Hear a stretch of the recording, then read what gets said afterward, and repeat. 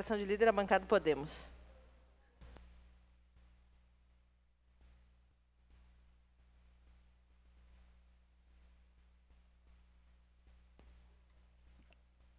Caros colegas, senhora presidente, suba essa tribuna hoje, como falou, falou o vereador Fantinel, de cara limpa, né? Depois de um ano e dois meses sendo obrigado a usar uma coisa que eu não queria, estamos aqui começando de próprio o nosso mandato sem máscaras. Hoje seria um dia de muita alegria, gostaria de...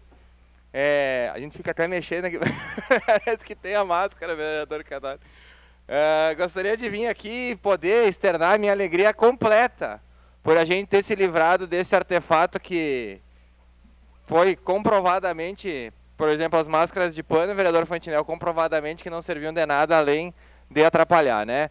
É, de ontem para hoje, porém, recebi diversas, e posso arriscar dizer centenas de mensagens de pais completamente revoltados com a situação das crianças de 6 a 11 anos. Tenho certeza, Cadore, que o teu celular foi a mesma situação que o meu. Eu gostaria de fazer uma lembrança de como o Brasil está hoje. No começo da pandemia, o STF decidiu que o presidente não mandava. É verdade ou eu estou mentindo, vereador Fantinal? É verdade. Beleza. Aí o STF falou que quem manda eram os governadores. Beleza, então todo mundo aceitou com os governadores. O governador do Rio Grande do Sul fez diversos decretos, teve a questão das bandeirolas, teve a questão do distanciamento, ele era autoridade.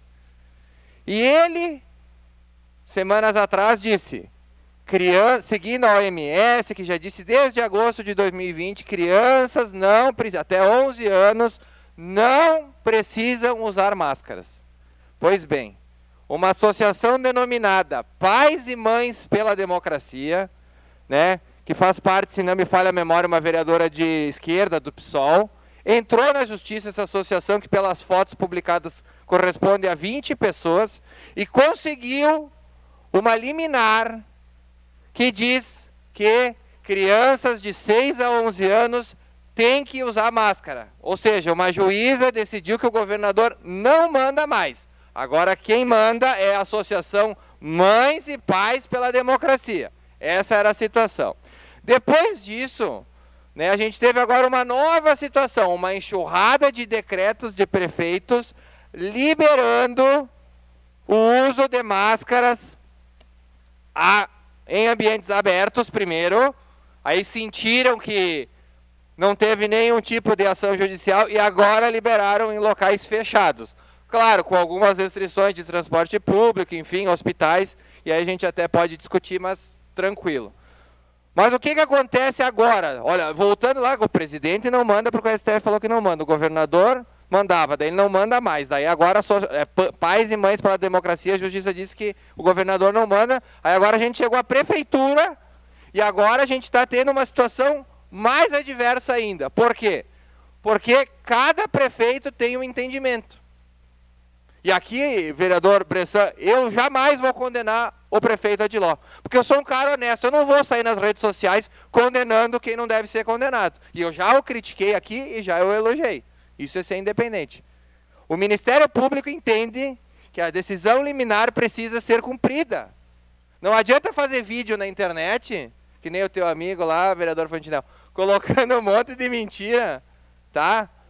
Porque a gente, decisão liminar, por mais que a gente descumpra, a gente queira, é, a gente discorde, a gente tem que cumprir. Porque senão vira um país da, que não tem lei nenhuma.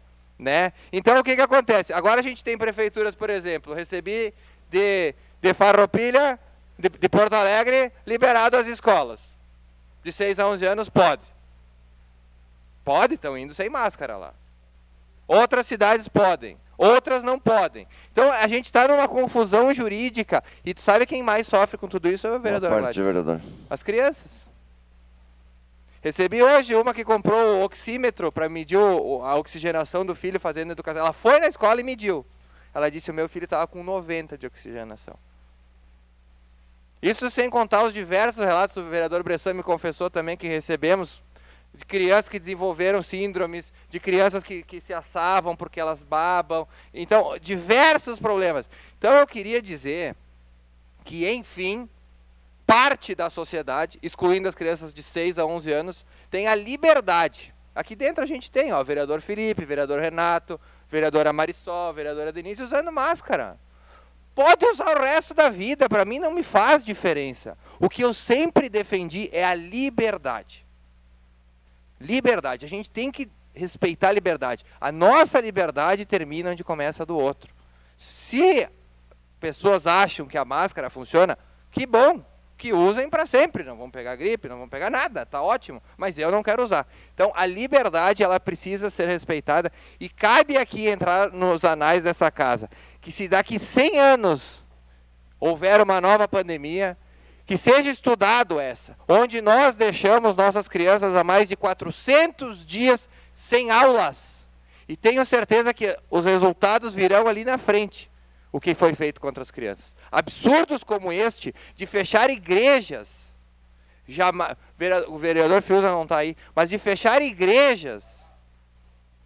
Ah, desculpa, vereador Fiuza. Estava falando de igrejas e o senhor, como pastor, eu gostaria de lhe mencionar que nada se compara a fechar escolas e fechar igrejas. É inominável o que foi feito nesse período. Então, que as próximas gerações, caso isso aconteça de novo, não cometam os mesmos erros que nós cometemos. Vereador Cadore, seu a parte, por gentileza. É, vereador Marcon, é, sempre eu é, vi a pandemia com seriedade. É, sempre defendi a vacina como caminho sólido e queria dar resultado. É, acho que a máscara cumpriu seu papel, mas nos últimos tempos nós já tínhamos feito uma indicação, apesar de termos já recebido muitas críticas à época, uh, mas chegou um momento que ela não se justifica mais. As pessoas, na maioria, não usam, há uma incoerência, em alguns locais é usado e outros não. Enfim, cumpriu seu papel e hoje eu defendi, pressionei o prefeito, coloquei a minha opinião para ele e ele felizmente é, desobrigou o uso da máscara. Eu acho que é um momento oportuno, mas nem por isso a sociedade, a população deve se descuidar do uso do álcool em gel, de cuidados básicos e quem quiser usar a máscara, como o senhor disse muito bem, tem a liberdade de usar. E acho até que ela vai ficar como um legado. Assim como o álcool gel vai ficar como um cuidado maior que as pessoas vão ter na higienização, a máscara para muitos será um, um, um instrumento que será usado eh, quase que rotina, rotineiramente. Então, parabéns ao prefeito e deixar claro aquilo que o senhor colocou também. As crianças de 6 a 11 anos elas não estão liberadas do uso da máscara por uma decisão judicial. E decisão judicial, tanto o prefeito como o governador têm que acatar, como todos nós. Era isso, meu muito obrigado. Obrigado, vereador é, Cadoro. Já lhe passo a parte, vereador Fantinel. Só para complementar que eu recebi um e-mail há poucos instantes atrás que o Instituto Federal decidiu que lá quem manda é o Instituto Federal. Então lá não se cumpre decisão judicial, lá não se cumpre decreto do prefeito, lá não se cumpre nada. Quem manda é o Instituto Federal. Então as pessoas estão me perguntando, eu posso entrar no Instituto sem máscara? Eu estou dizendo, olha, se tu tiver mais que 11 anos, pela lei que está vigente, tu pode. Então, como nós cumprimos a determinação, vereador Bressan, a gente tem que exigir que essas pessoas cumpram também. Seu a parte, vereador Fantinel. Obrigado, vereador Marcon. Parabéns aí pela pauta que o senhor está trazendo aqui. É muito importante. Nós começamos aí, eu, o senhor, o vereador Bressan, Scalco e vários outros aí, Bortola, enfim, na luta pelo fim das máscaras, né? Agora a gente fica feliz vendo que uma boa parte conseguiu, as crianças ainda estamos na luta por esse motivo que o senhor falou. Mas eu queria ser breve no seguinte: a ciência teve a sua oportunidade para fazer as suas pesquisas a respeito da vacina. Se tivermos uma próxima pandemia ali na frente, se quiser que o Fantinel se vacine, a vacina vai ter que dar resultado. Ou seja, vacinou, não pega mais. Eu só espero que isso sirva de lição para aqueles que inventam. Obrigado, vereador.